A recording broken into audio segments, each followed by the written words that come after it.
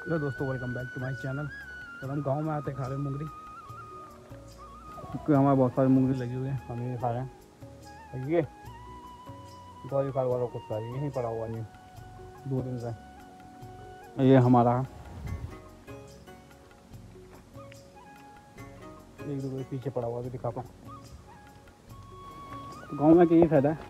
फिर ये देखो, ये ये। एक हो रहा जॉनी। तो गाँव में आके यही फ़ायदा है कि आराम से मूंगली खाओ और बढ़िया से मौसम में। तो क्या सुहाना मौसम हो रहा था हमारे यहाँ? आज नीचे नदी भी आ रखी है। तो गाँव में आके पहली सुबह की है सुबह उठते ही चाय पी फिर सीधे मूंगली खाई। और गागा हम घूमने गए थोड़ा बहुत। तो मिलते हैं हम आपको नेक्स्ट ब्लॉग में। इस ब्लॉग को यहीं पे एंड करते हैं। Tata bye bye